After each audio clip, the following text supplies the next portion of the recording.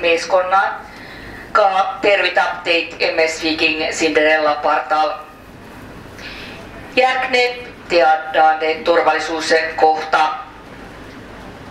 Laiva pääsevestit, päästeparvet ja paatit asuvat tekil 9 ja 11.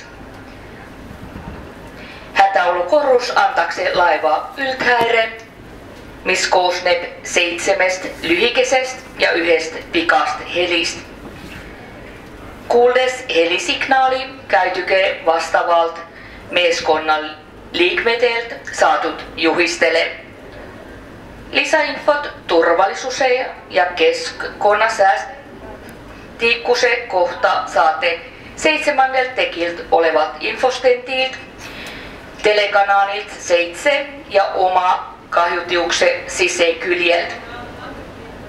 Meeskont autab teitä meelsäsit koikist turvallisuust puutuvates kysymystes. Kokuemes Viki Cinderella, meeskont soovib teille meeldivat merereisit